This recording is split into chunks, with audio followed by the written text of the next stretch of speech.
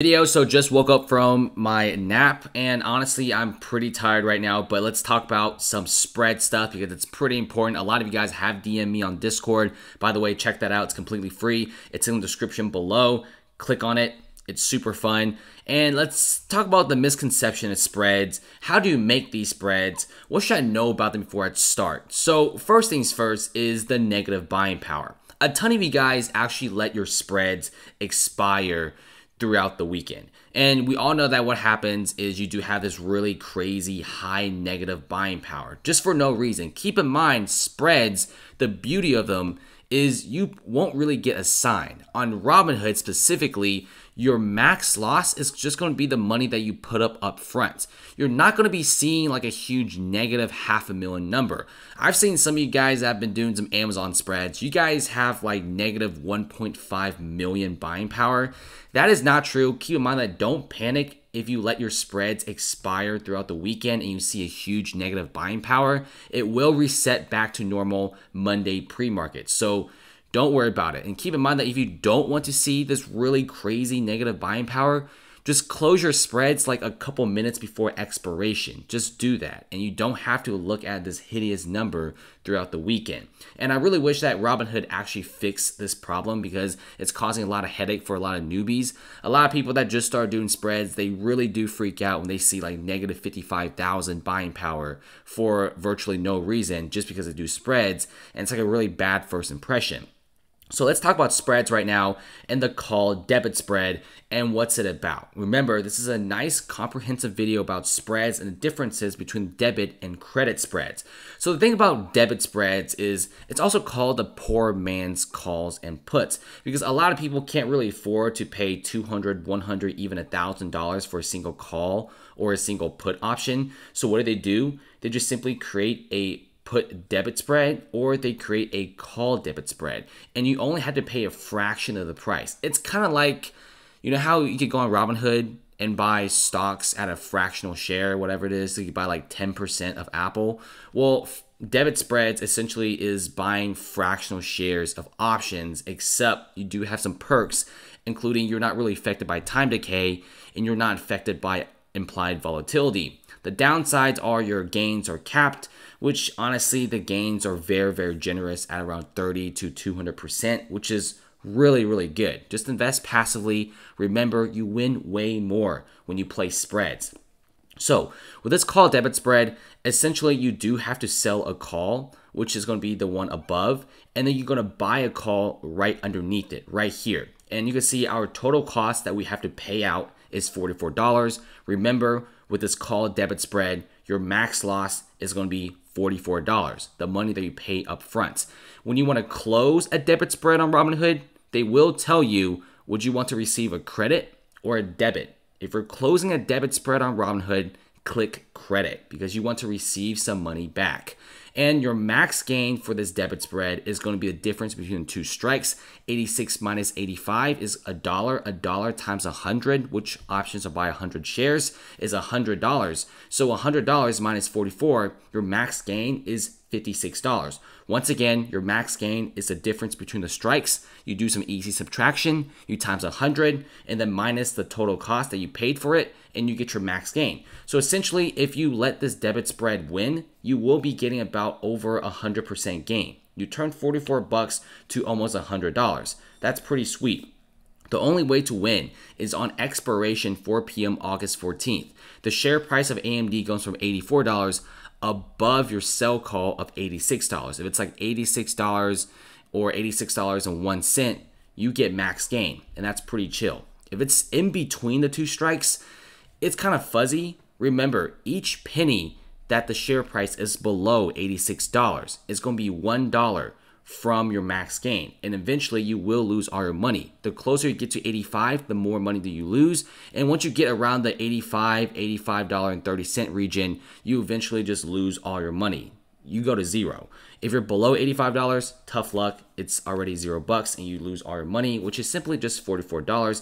Now, if you win your spread, if you lose your spread, if you partially win your spread and it expires, you know, somewhat in the money, and you're holding it through the weekend, remember you will be seeing this really crazy negative buying power. So don't freak out. If you don't want to see this, just close it early. Now, same thing with put debit spreads.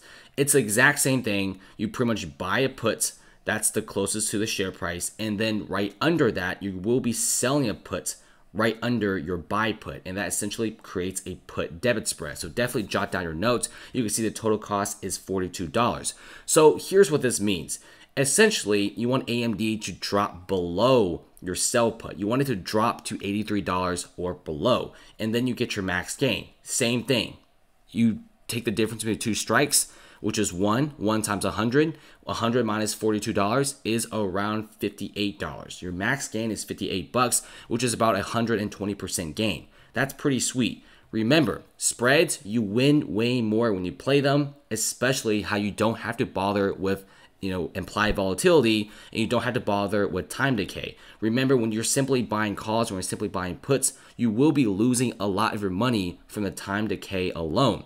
If AMD, for example, it drops to $82 and it just hovers at $82 for days and days. If you buy puts, you will be losing money because every day it opens, the price goes down. But you have spreads, you're fine if the market is completely flat and you're, you know, in the money. So these are the beauty of spreads. You do make a lot of money. Remember, the thing about debit spreads is you want your stock price to hit a certain area. That is a debit spread.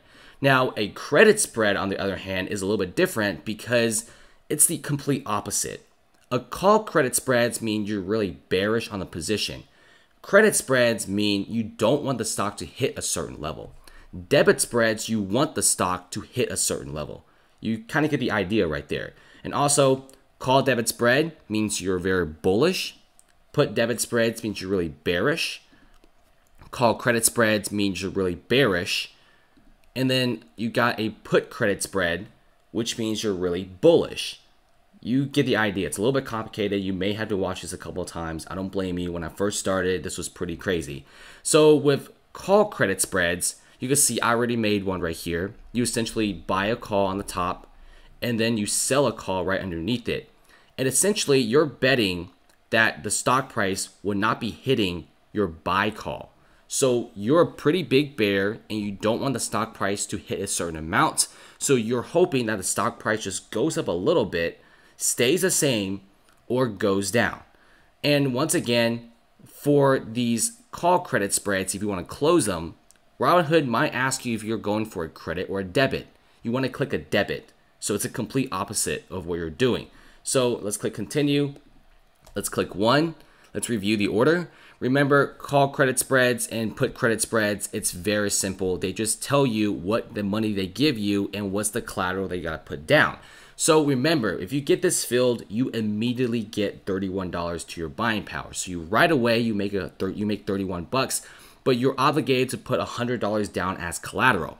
So here's the catch. If AMD on expiration date at $84, if it doesn't hit $87, congratulations you obviously still get to keep your minimum credit of $31 and you get your $100 of collateral back. But what happens if AMD, you know, it goes down? It goes down to $83.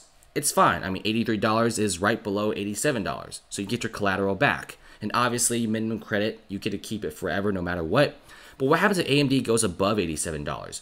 Well, you will be seeing a huge shock to your collateral. If AMD, for example, goes to $89, you lose all $100 of your collateral but you still get to keep your minimum credit because they give it to you up front. Remember, for each penny that it goes above $87 is a dollar knocked off of your collateral. So this is pretty dangerous. You kind of get the idea. And your break even point is essentially going to be your minimum credit in the overall value. So if the share price of AMD goes up to $87.31, you essentially break even and they release back the $100 of collateral because you just used up your minimum credit to pay for that slight loss. Do you kind of get it? Remember, every penny that goes above $87 is a dollar knocked off for collateral. So it's a little bit complex, but you will get the hang of it eventually once you start doing them. Remember, the best way to play options is to actually go down and dirty on them stop reading the books, you know, stop watching a ton of different videos. I mean, definitely watch them, definitely read the books, but you got to get down and dirty in the options market. You got to try these yourself to really get the hang of it. So put credit spreads means you're really bullish. You don't want the stock to drop down to the price that you selected. You kind of get the idea. Credit spreads means you don't want them to go down or go up to a certain point. Like you want there to be like a ceiling level. Essentially, you're really hoping that the stock just stays flat. That's the best way to do things. And if you check this out to create a put credit spread, you buy a put underneath it and then you sell a put right above it. And our total credit is 35 bucks. Let's click one. Let's see what our collateral is. Our collateral is most likely going to be $100. I guessed it correctly. So your max loss, once again, is going to be the collateral minus minimum credit. It's $65. It's not too bad. I mean, you're risking like a small amount of money. You could make about 35%. That's pretty awesome, especially in one week's time. So if AMD at $84 for this put credit spread is above $83, which is our sell put, we essentially get our collateral back and we still get to keep the minimum credit. If it's above, you know, 85, it goes to 86. If it goes to 87, you get your collateral back and you get your minimum credit of 35 bucks. If it dips below $83, every penny that goes down, knock off a dollar from your collateral. Eventually, when it hits $32, you lose all your collateral, but hey, at least you still have your minimum credit. So you get the idea. Spreads are essentially pretty safe because you're just betting on the share price trying to stay flat. The cool thing about spreads is you know exactly how much money you make, how much money you will lose, and what you could expect in the future. It's pretty awesome. Like it's one of the few strategies in the options market where they actually tell you how much cash you can make and what is the risk. If you straight up buy a call or put, you're basically playing roulette and you're hoping that the you know option price goes up. It's pretty complicated. Put credit spreads, call credit spreads, debit spreads, they're cookie cutter. They tell you what's up and they give you a good time. Remember, a lot of these strategies, especially the spreads, please pick something super stable like Bank of America. That's one of the most stable stocks out of their play. Pick something super stable like Microsoft. You can see there's barely any movement. And also, the small cap is a phenomenal example. It's pretty flat as well. And it's also a really good example to play spreads. And also, if you let your spreads expire and pretty much you're holding them through the weekend, once again, you will be seeing a huge negative buying power. Don't freak out about it. It will reset on Monday. Once again, if things really do get kind of weird for you over the weekend, like if your buying power, you know, I don't know, turns like blue, you should probably email the Robinhood customer support team.